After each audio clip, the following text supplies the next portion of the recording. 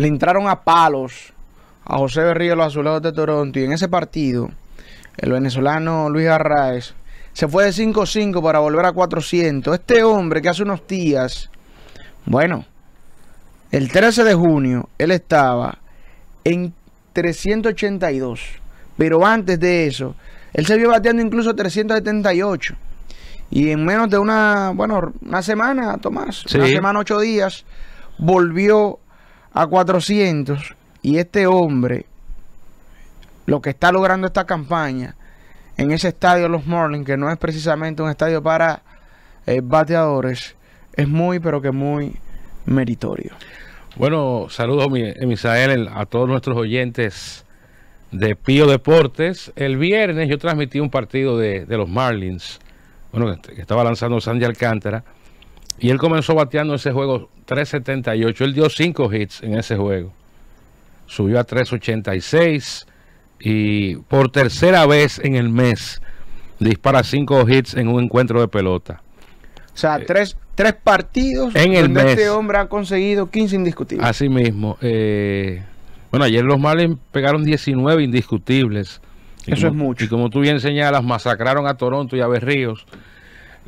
Se repite la misma historia. Toronto comete, comete los mismos errores y no sé, no comete los mismos errores, sino que sufre de las mismas deficiencias año por año y es su picheo. La ofensiva siempre ha estado ahí. Pero si no es por, por una cosa, es por otra. Bueno, ellos trajeron a, a Chris Bassett y a Kevin, Kevin Pero Bassett estaba tirando bien. Y, ha sido un desastre de, de dos salidas en adelante es un tira y agáchate. Entonces un equipo que no tiene relevo y depende de ganar los partidos con abultado marcador, pero cuando usted le hacen 11, bueno, y ayer no hicieron ninguna, eh, hay que decirlo así, no batearon. 11 eh, juegos por encima de 500, 42 y 31 tienen los Marlins en la temporada. miren, él tenía un bache de 15-0, Luis Arraez, como decía, hasta el viernes, bateando 378. De acuerdo a la Elias Sports Bureau, es el cuarto jugador de las grandes ligas desde 1900 en tener tres partidos de cinco hits en un mes, junto a los miembros del Salón de la Fama, George Sisler, agosto de 1921, Ty Cobb, julio de 1922, y Dave Winfield en junio del 84. Aunque Pablo López es un gran, buen lanzador, no un gran lanzador, es un buen lanzador. Y ya.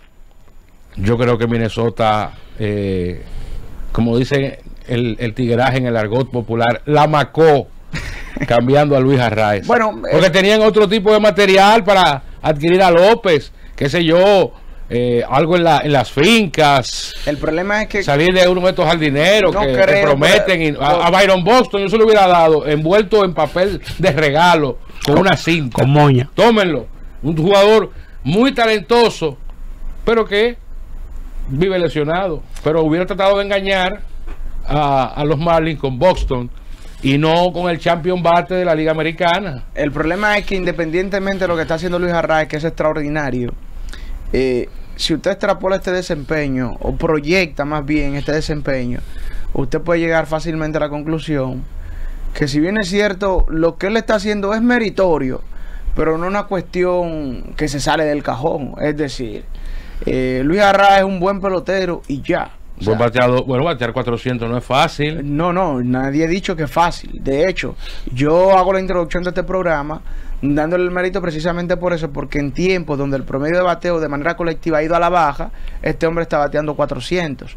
Si él, si él termina, no bateando 400, porque eso es una exageración. Eso es muy difícil. Si él termina bateando 370, no va a ser extraordinario. Es, algo de locura. Mira, él tiene 102 eh, imparables en 67 juegos.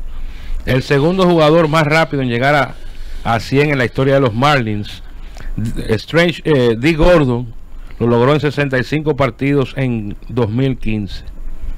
Eh, oye, ¿cuántos fanáticos habían ayer? Le, le brindaron una ovación de pies, 12.226. Esa ciudad no merece. Eso es un Licey Águila, un día malo. Aquí no, no, no, merece eh, una franquicia de grandes ligas. Siete carreras por cuatro, el equipo de los Gigantes de San Francisco derrotó. Le sacaron ese juego de la nevera a los padres de San Diego y llegaron a la parte baja de la novena entrada, ganando dicho encuentro, cuatro carreras por dos. Anotaron dos carreras los, eh, los gigantes en la parte baja de la novena y tres. Bueno, ya ahí para dejar en el terreno a los padres. Y Real Molina, San Diego, quien, hay que decirlo, está dando señales de vida últimamente, deja escapar esta victoria ya con el juego en las manos. Bueno, son eh, derrotas que duelen porque, sobre todo a la fanaticada de San Diego, por lo que tú mencionabas, un equipo que ha venido trastabillando desde el inicio de la temporada, si se quiere desde el final de la pasada, y como que estaba viendo un respiro, sobre todo a nivel ofensivo, eh, jugadores como Tatis, el mismo Soto ha mejorado su promedio, eh, y tú ver que pierdan un partido ganable eh, es complicado. Bueno, pero yo tranquil con el cuadrangular ahí ya en la, la metió, la, metió al, agua. Sí, al sí. aquel su de Barry Bonds. Su segundo jonrón de la noche. Cayó los barquitos, los barquitos. Vi, eh, leí muchos comentarios en las redes criticando a, al dirigente de los padres porque no trajo a, a George Hader debe haber alguna situación por la que Heider no lanzó ayer. Lo que pasa es que a veces los dirigentes se atragantan en esta circunstancia en razón de buscar, como San Diego no logra anotar en la parte alta de la décima entrada, el juego queda empate, ¿no? Correcto, no, hay, Y buscando anotar una para traer el hombre a concluir el partido, puede que él se haya, repito, atragantado y quedado con él en el bullpen. Ahora, yo particularmente nunca me gusta perder un juego donde yo, con posibilidad de utilizar mi mejor brazo del bullpen, dije que no encuentro una situación. ¿Y cómo este equipo de San Francisco tiene 40 y 32? Bueno, porque es un equipo. Lemonte Wade Jr. Está teniendo un buen año. Jock Peterson, Tyro Estrada, también Michael Conforto, también Mark Jastrensky, Luis Matos, Brandon Crawford, esto es un equipito de pelota. y el picheo. Mira los promedios. Logan Webb. Ah, bueno, eso es un buen, buen pitcher. Ahí está de cerrador Camilo Doval. Que salvó ayer. Lo que pasa es que. ganó el juego ayer. Lo que pasa es que eh, en San Francisco está este gerente general que venía de Tampa, Saidi, que son los tipos que han emulado hasta cierto punto lo que comenzó a hacer Billy Bean en Oakland. Ellos lo están haciendo con más recursos económicos. Potencial. Pero San Francisco tenía cuarto para firmar a todo el mundo y no firmaron a nadie. Pero no porque yo no quisiera. No, porque ellos, le, dieron el contrato a Correa, pero salió, con problemas. Salió pichado. Está jugando. Pero salió con problemas. Y le ofrecieron, a, le ofrecieron a George y George ni caso. Le, bueno, él fue hizo una visita. Fíjese, fíjese que le ofrecen. O sea, ya no va de ellos, es una cuestión que. Pero había como otras manos. Pero yo tenía, bueno, Carlos Rodón lo dejaron ir y tenían razón porque no ha tirado una, pero no sé, eh, ellos han recauchado algunos brazos como el de Alex Wood en las últimas temporadas. ha hecho un buen trabajo. Kevin Gossman sale de ahí con un contratazo eh, para los Lanza dos años con ellos, 20 y 21. Después de ser un pitcher del marginal, montón con los Orioles de Baltimore, se convirtió en un pitcher de verdad ahí en San Francisco. Pero ese equipo, si usted suma y resta, ha perdido más talento que el que ha adherido en los últimos años. En el papel. Y compite. En, pero ese talento que ha perdido es en el papel. Porque la manera como ellos se conducen, es decir, estamos hablando de un equipo de béisbol donde... Miren, hay una película que yo siempre recomiendo. Vean Moneyball con Brad Pitt. Esa película que salió por allá 2011, 2012. Sí. Miren, Moneyball, cuando está en una, especie de mesa redonda. Él está explicando que es Billy Bean. Brad Pitt eh, protagoniza a Billy Bean en la película.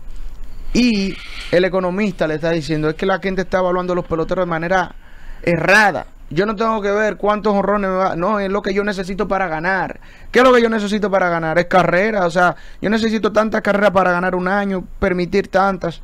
Y partiendo de ahí tú haces una, un ejercicio y consigas los jugadores que tú entiendes que te van a conducir por ese camino.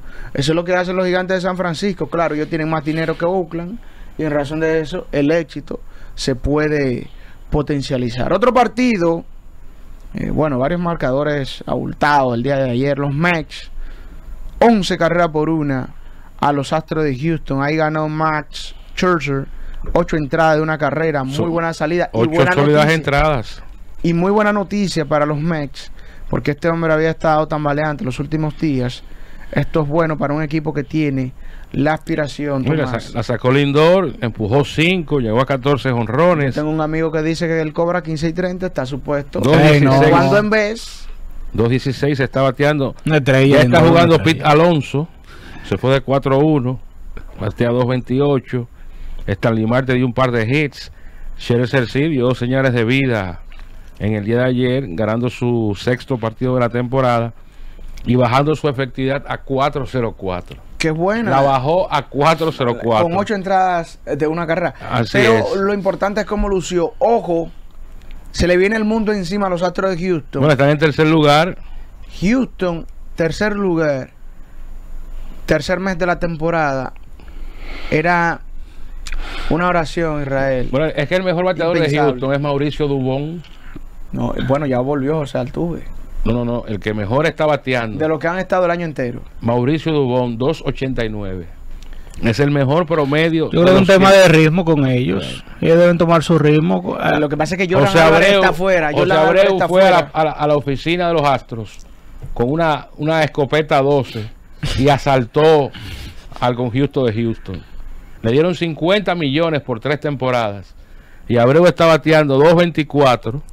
Con Tiene OP dos honrones. con un OPS, atención, de menos de 600. Todo lo que sea OPS. A tu primera a tu te tiene un OPS No, más alto de ahí. Estamos hablando Sí, de porque él cuando suele dar un hit es un, sen- un- un- sencillo. una cosita atrás de segunda.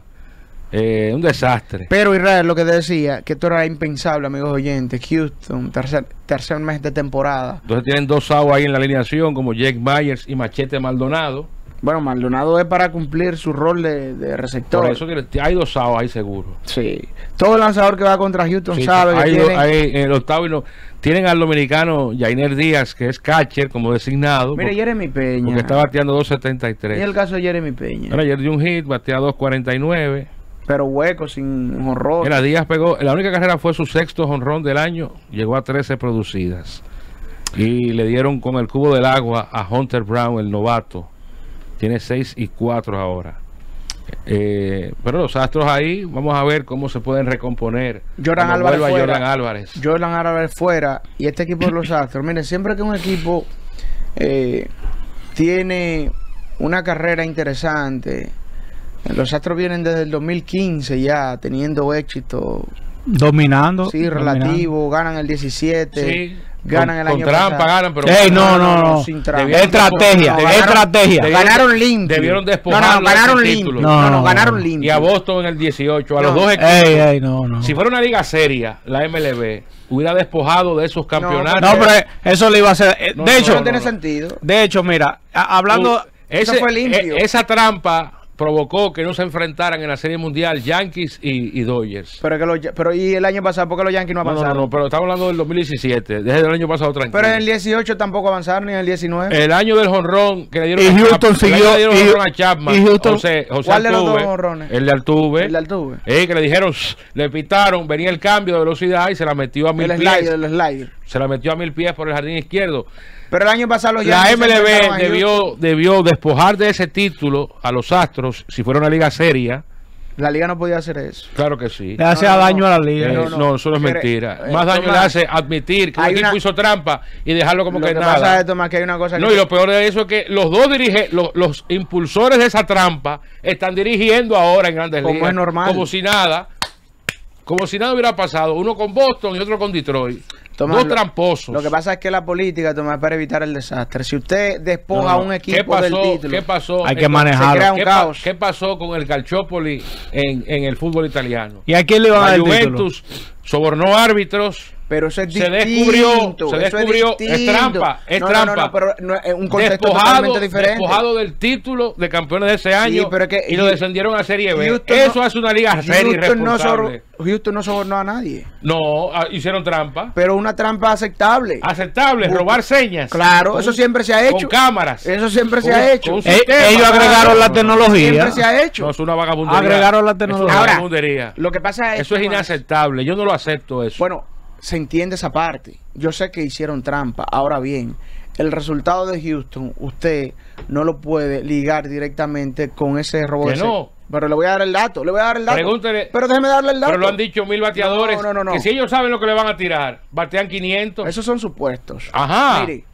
el año, no, ¿qué es año fue no es lo mismo adivinar, Perdón. adivinar un lanzamiento que usted saber que viene que viene con curva. Estamos hablando del año con 2017, slider. ¿cierto? Sí, exacto. 2017. 17. Ese año Houston tuvo mejores números, colectivamente hablando, en la ruta, ofensivamente. Oye, a la ofensiva, Houston tuvo en el 2017 mejores números en la ruta que en su casa. ¿Qué usted responde a eso? Eh, Pero los juegos claves en su casa, No, no. sabiendo, no, no, Pero, ¿cómo de la sa- casa? Yo le estaba hablando que en la ruta batearon más. sabiendo lo que le van a tirar Pero que en la ruta batearon al, más. al tuve, a, a- bu- busque las temporadas después de esas, de, de todos esos peloteros, a ver si, han sido igual. Oh, pero En términos Springer ofensivos, sigue siendo una fuerza. Eh, no, no, Altuve, se murió. Al- bueno, por Altuve- lesiones. Altuve de ganar título de bateo, era un bateador de 260. Pero por lesiones. Por lesiones no, porque ya no hay trampa, porque ya no sabe que le van a tirar cambio ni ¿Y recta. ¿Por qué batearon más en la ruta ese año? No sé. Que usted no sabe. No, yo no sé. Un fenómeno. A lo mejor hacían la misma trampa Me- en mira, la ruta. mira. La Breve, buscaban. Bueno, pues vo- voy a hacerlo después de la pausa. Porque Vamos no- a hacer no la pausa. tan breve lo que voy a hacer. Luego de la misma, Rojos de Cincinnati. Título Joy Boto. Eli de la Cruz. Vergüenza. Tomás, amigos oyentes, los Rojos. Están en primer En la lugar. Tan primera duro, de la División Central de la Liga Nacional. Pausa. Con Usain Bolt. Volvemos.